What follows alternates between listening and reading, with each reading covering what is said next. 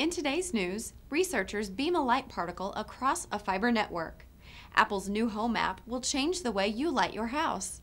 And fluorescent light boosts testosterone levels in men. Lux Today for Tuesday, September 27th starts right now.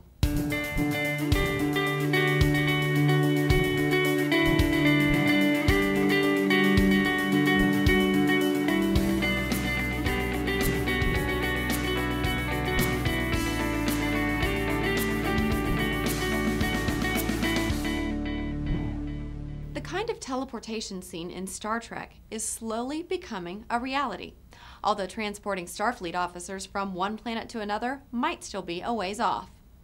Researchers at the University of Calgary have successfully moved a photon light particle over a four mile straight line, setting a record for quantum teleportation.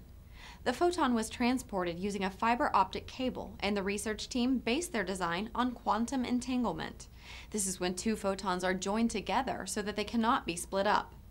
The researchers then sent a photon to Calgary's City Hall while it stayed entangled with its photon double at the university. It was sent back and forth again. The successful long distance teleportation will move scientists a step closer to developing a secure quantum internet sometime in the distant future.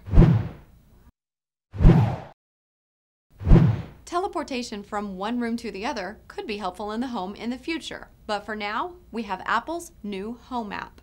This new app is able to control all the smart devices in your house. The new platform, which will be a part of Apple's iOS 10 update, allows you to group together devices in one room so you can control them all with a single command. Home will allow you to create an interplay between different smart devices, meaning you can set a smart living room light switch to not only turn on your lights, but also to raise the blinds or lock the door. Apple's new app also allows you to control your smart lighting via the Siri button on your Apple TV remote. This means you can turn off the lights while watching a movie without moving, an innovation that couch potatoes will love. From the living room to the bedroom, Scientists from the University of Siena in Italy have discovered that sitting in front of a light box can increase male testosterone levels. The study was comprised of 38 men, half of whom were exposed to a full strength fluorescent light box.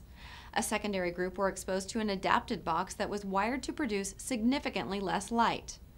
The participants received doses of light for an hour during the early morning for two weeks straight the scientists discovered that the men exposed to the bright, unregulated light were found to have increased levels of testosterone compared to those who were exposed to the adapted box.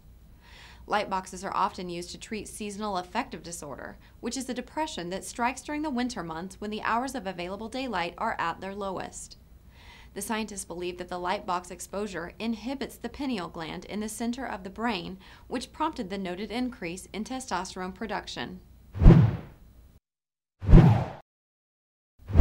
That wraps things up. Remember, you can get all the latest lighting news globally 24 hours a day at luxreview.com.